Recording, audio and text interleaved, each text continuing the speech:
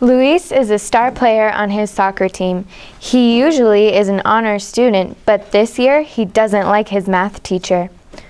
So he decides not to do his work, but if he fails, he will be kicked off the soccer team. So Luis needs to find two solutions to his problem and fast. So Luis finds two good solutions. One is he starts doing his work and he starts to get to know his teacher better, or he doesn't do his work and he hides his bad grades from his coach. So then he goes home and tells his mom. She suggests he changes classes. So the next day, his mom takes him to the school and they go to the front office. And they change his math class to a different and more suitable teacher. At the end of the year, he passes math.